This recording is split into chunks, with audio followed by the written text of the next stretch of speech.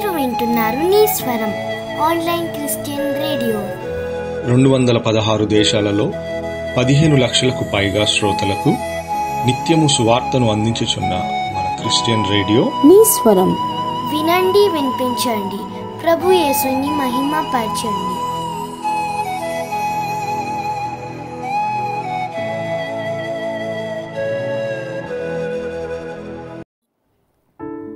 Praise the Lord. దేవుని నామమునకు మహిమ కలుగును గాక. రెవరెండ్ వాసా జాన్సన్ అయ్య గారి యొక్క జీవిత ప్రయాణము వారి యొక్క అనుభవము పరిచర్య నిమిత్తము వారికి ఉన్నటువంటి ఆసక్తి మీ అందరితో తృప్తంగా పంచుకోవటానికి ఆశపడుచున్నాము. సిఎస్ఐ కరీంనగర్ డయాసిస్లో ముప్పై తొమ్మిది సంవత్సరాల సేవ పరిచర్యను జరిగించినటువంటి రెవరెన్ వాసా జాన్సన్ అయ్య గారి దర్శనము నిదర్శనము మరియు వారి చివరి కోరికను కొనసాగించుటకు దేవుడు మాకు అనుగ్రహించిన కృపను బట్టి ప్రతి స్థలమునకు సువార్తను చేరవేయుటకు ప్రకటించుటకు నీశ్వరం ఆన్లైన్ క్రిస్టియన్ రేడియో వారి జ్ఞాపకముగా రెండు వేల పద్దెనిమిదవ సంవత్సరంలో ప్రారంభించడం జరిగింది. అతి తక్కువ సమయంలో రెండు వందల ఐదు దేశాలలో ఏడు లక్షలకు పైగా శ్రోతలను కలిగి ఉంది. నిత్యం సువార్త పరిచర్యలో కొనసాగించబడుతుంది. నీశ్వరం రేడియో నందు ఆత్మీయమైన ప్రసంగాలు అద్భుతమైన సాక్ష్యాలు ప్రత్యేకమైన ఆదివారపు ఆరాధనలు ప్రత్యేకమైన టాక్ షోస్ బైబిల్ స్టడీస్ చిన్నపిల్లల కొరకు మహిళల కొరకు ప్రత్యేకమైన కార్యక్రమాలు మరి ముఖ్యముగా ఉజ్జీవభరితమైన పాటలు మరియు అనేకమైన కార్యక్రమాలు మన నీశ్వరం ఆన్లైన్ క్రిస్టియన్ రేడియో ద్వారా జరిగించబడుచున్నవి. ఈ కార్యక్రమాలు ట్వంటీ ఫోర్ బై సెవెన్ అనునిత్యము ఆత్మీయ మేలులు పొందుకునేలాగున ప్రపంచ నలుమూలల అనేక మాధ్యమాల ద్వారా అందించడం జరుగుతుంది. ఈశ్వరం ఆన్లైన్ క్రిస్టియన్ రేడియో ఉద్దేశము ప్రతి సువార్థికుడు ప్రతి సువార్థికురాలు దేవుని సువార్త పరిచర్య కొరకు ఆసక్తి కలిగి ఉన్న ప్రతి ఒక్కరూ సర్వలోకమునకు వెళ్ళి సర్వసృష్టికి సువార్తను ప్రకటించడం వినండి వినిపించండి. ప్రభు యేసుని మహిమపరచండి.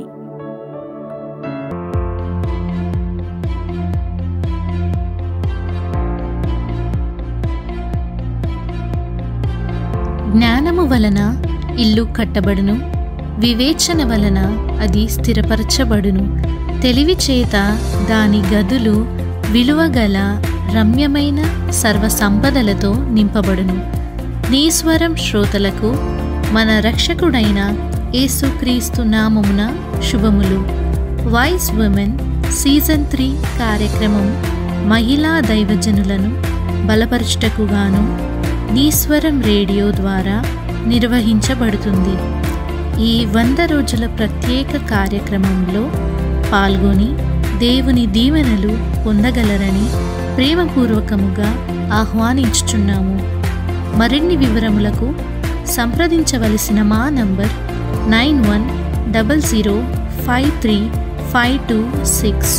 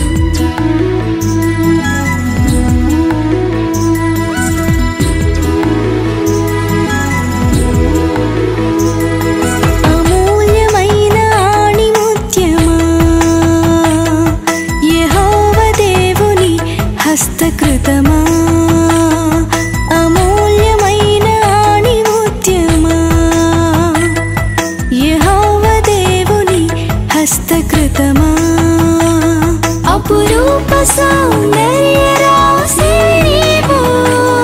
ఆత్మీయ సుగుణశీలివి నీవు. అపురూప సౌందర్య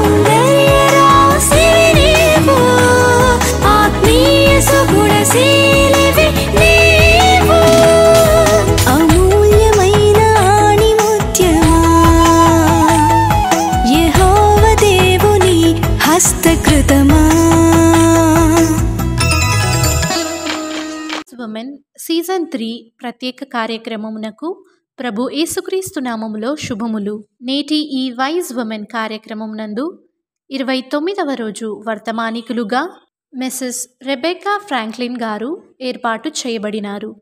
వీరికి నీ స్వరం యాజమాన్యం పక్షమున శుభములు తెలియజేయుచున్నాము. మిస్సెస్ రెబెకా ఫ్రాంక్లిన్ గారు హైదరాబాద్ ప్రాంతంలో గుడి మల్కాపూర్ మెథడిస్ట్ చర్చ్ సంఘ సభ్యురాలు ఇట్టి సమయంలో మిస్సెస్ రెబేకా ఫ్రాంక్లిన్ గారు వాక్య సందేశం అందించెదరు. ప్రభు నామంలో మీ అందరికీ శుభములు తెలుపుకుంటున్నాను. మరి వైస్ విమెన్ ప్రోగ్రాం ద్వారా నాకు ఇచ్చిన అవకాశాన్ని బట్టి ముందుగా దేవాది దేవునికి నా నిండైన వందనాలు. మరి ఇంత చక్కటి ప్రోగ్రాంని స్టార్ట్ చేసి ఎందరినో బలపరిచిన నీశ్వరం యాజమాన్యానికి నిండైన వందనాలు చెల్లించుకుంటున్నాను. ఆసక్తితో వింటున్న మీ అందరికీ కూడా ప్రభు పేరిట శుభములు. మరి ఈ దినమునకై ఏర్పాటు చేయబడిన పరిశుద్ధ గ్రంథం నుండి పరిశుద్ధ వాక్యము సామెతలు ఇరవై నాలుగవ అధ్యాయము మూడవ వచనము నాలుగవ వచనము. జ్ఞానము వలన ఇల్లు కట్టబడును వివేచన వలన అది స్థిరపరచబడును. తెలివి చేత దాని గదులు విలువగల రమ్యమైన సర్వ సంపదలతో నింపబడును. మరి చిన్న ప్రార్థన చేసుకొని వాక్య ధ్యానంలోకి వెళదాము. పరలోకంలో ఉన్న మా తండ్రి మా దేవ ఈ రోజున ఈ వైస్ ఉమెన్ ప్రోగ్రాం ద్వారా మీరు నాకు ఇచ్చిన వాక్యాన్ని ధ్యానించుటకు మీరు ఇచ్చిన కృపను బట్టి మీకు వందనాలు.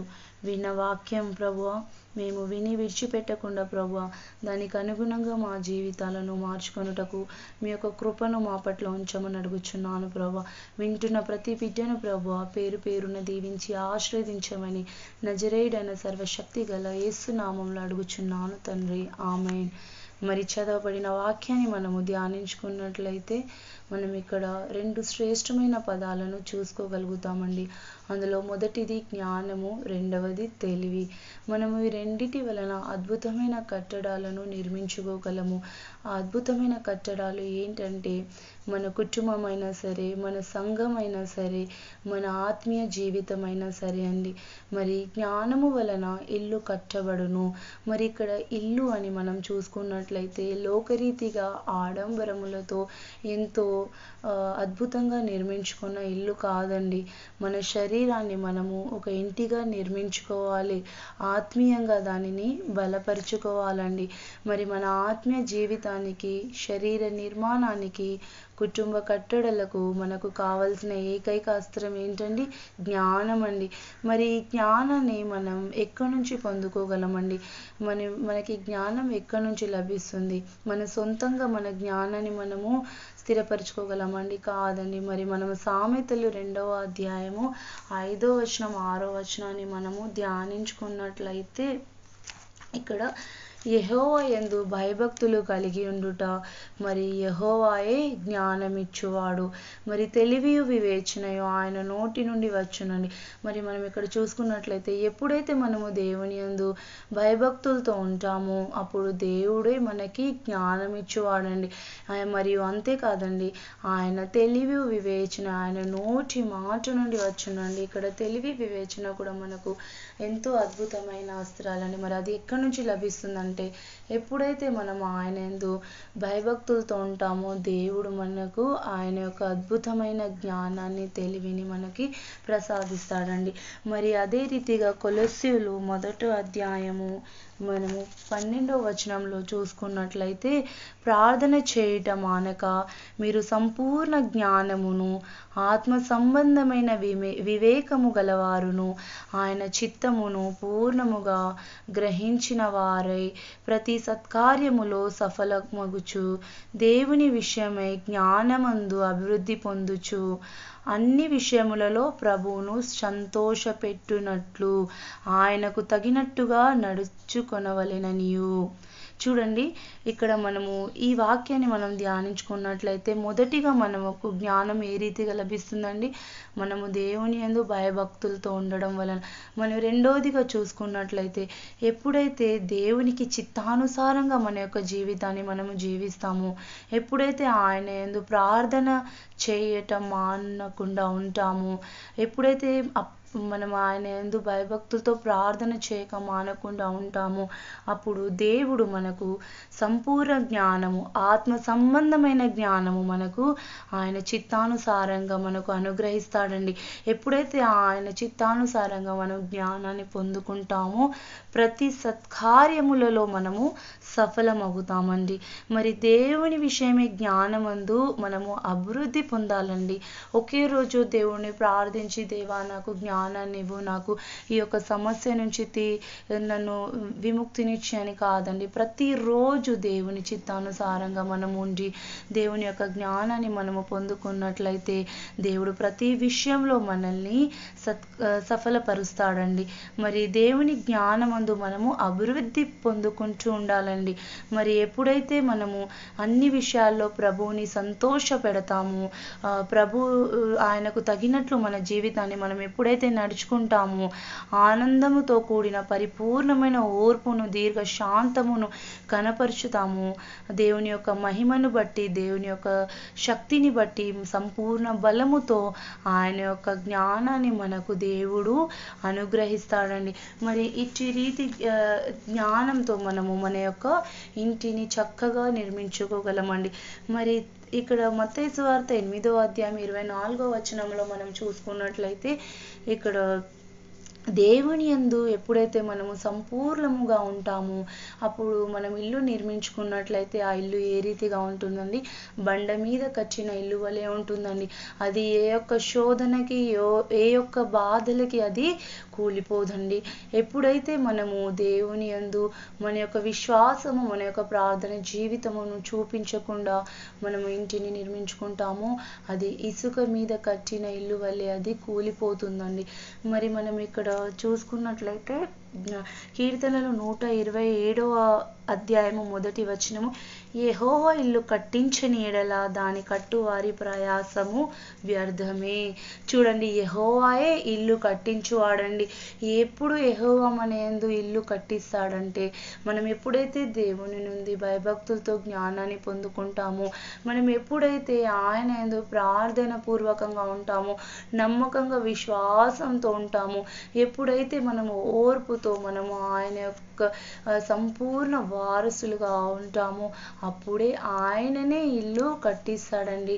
యెహోవాయే ఇల్లు కట్టించిన వాడండి ఆయన యొక్క ఇల్లు కట్టించక కట్టించని ఎడల దాని కట్టువారి ప్రయాసము వ్యర్థమే అండి. మనం దేవుని అందు ఉండి మనం ఇంటిని కట్టించుకోకుండా మన సొంత తెలివితేటలతో మన సొంత ఆలోచనలతో నేను చేయగలనని ఎప్పుడైతే మనం వాటిని నిర్మించుకుంటామో దాని యొక్క ప్రయాసము వ్యర్థమేనండి.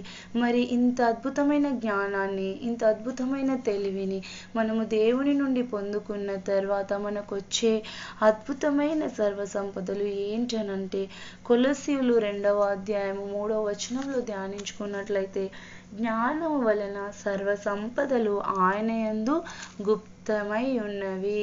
చూసారా? ఎప్పుడైతే మనము జ్ఞానాన్ని మనము దేవుని నుండి పొందుకుంటామో సర్వ సంపదలండి.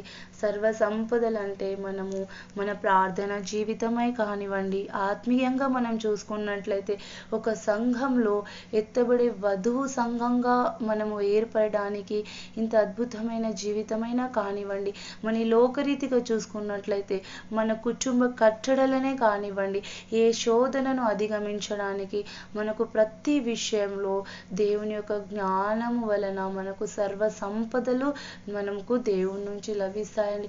ఎప్పుడైతే సర్వ సంపదలు మనకు దేవుని నుండి లభిస్తాయో అప్పుడు మనం ప్రతి ఒక్క సమస్యని అధిగమించగలమండి. అది కూడా దేవుని యొక్క జ్ఞానము వలననే సాధ్యము. మరి ఈ దేవుని యొక్క జ్ఞానము మనము ఎప్పుడైతే పొందుకుంటామో మరి మనకు అప్పుడు దేవుడు దేవుడు ఏ రీతిగా కాపాడుతాడంటే సామెతలు ఇరవై రెండవ అధ్యాయము పన్నెండవ వచనంలో చూసుకున్నట్లయితే యహోవ చూపులు జ్ఞానము గల వాని మీద ఉండును. ఎప్పుడైతే మనము అద్భుత రీతిగా జ్ఞానాన్ని పొందుకుంటామో మన కట్టడలనే కానీ కాదండి. మన యొక్క సమస్యల్ని అధిగమించడం కాదండి. దేవుని నుండి సర్వ సంపదలు పొందడమే కాదు ఆయన యొక్క చూపు ఎప్పుడూ మన మీద ఉంటుంది. ఎప్పుడైతే ఆయన చూపు మన మీద ఉంటుందో ఏ శోధనలకు కూడా ప్రవేశించకుండా ఆయన అద్భుత రీతిగా ఆయన యొక్క రెక్కల చాటున మనలని మన కుటుంబాన్ని తన కనుచూపులో ఉంచుకొని కాపాడతాడండి. ఎప్పుడైతే మనం ఆయన రెక్కల చాటున మరుగుపరచబడి ఆయన కనుచూపులో ఉంటామో మనము మన యొక్క కట్టడాలను అద్భుత రీతిగా నిర్మించుకోవచ్చండి. మన సొంత తెలివితేటలతో కాదండి దేవుని యొక్క చూపులు మన పట్ల ఉంటే దేవుడే మనల్ని నడిపిస్తాడండి. దేవుని యొక్క చిత్తం మనం నెరవేర్చిన వారముగా ఉంటామండి. దేవుని యొక్క చిత్తాన్ని ముందు మనం గ్రహించాలండి. ఆయన యొక్క కనుచూపు మేరతో దేవుడు మనల్ని ఎంత ఎంతో చక్కగా మన యొక్క ఆత్మీయ జీవితాలను మన యొక్క కుటుంబాలను నిర్మించుకోవడానికి మనకు ఎంతో గొప్ప గొప్పగా ఆశీర్వదిస్తాడండి. మరి అట్టి ఆశీర్వాదకరమైన జీవితము మరి అంత అద్భుతమైన కట్టడాలను మనం నిర్మించుకోవాలంటే ముందుగా దేవుని యందు భయభక్తులతో మనం ఉండాలండి.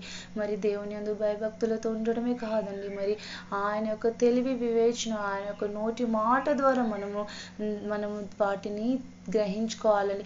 మరి ఆయన నోటి మాట ద్వారా అంటే ఆయన నోటి మాట వినడం అంటే కేవలము మనము మన యొక్క పరిశుద్ధ గ్రంథాన్ని ధ్యానించడం అండి ధ్యానించడమే కాదండి దాన్ని గ్రహించాలండి.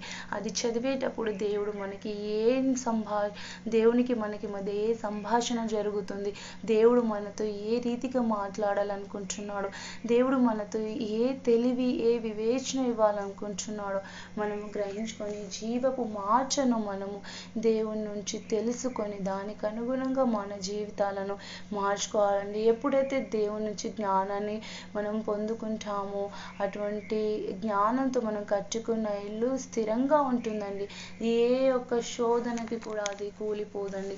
మరి ఆ రీతి జ్ఞానాన్ని ఆ రీతిగా తెలివితేటల్ని మనము దేవుని యందు పరిపూర్ణత కావాలంటే ఆయనతో ప్రార్థన విజ్ఞాపనముల చేత మనము దానిని పొందుకోవాలండి. ఎప్పుడైతే దాన్ని మనం పొందుకుంటామో సర్వ సంపదలతో దేవుడు మనల్ని ఆశీర్వదిస్తాడండి.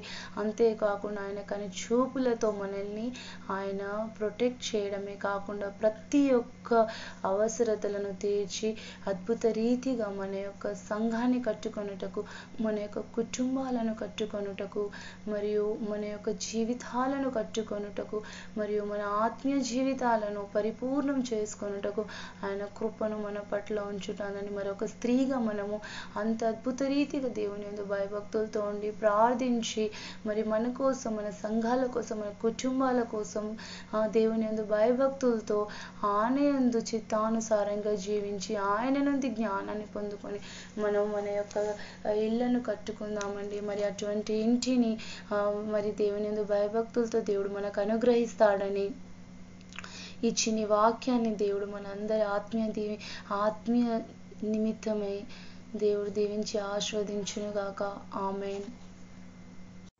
Wise women season three కార్యక్రమం నందు ఇంతవరకు వాక్య సందేశము అందించిన దైవజనులకు నీస్వరం యాజమాన్యం పక్షమున ప్రత్యేకమైన శుభములు తెలియజేయుచున్నాము దేవుడు మిమ్మును మీ కుటుంబమును మీ పరిచర్యను బహుగా దీవించి ఆశీర్వదించి కాపాడునుగాక. ఆమెన్. వినిపించు యేసు. स्वरम् नुनि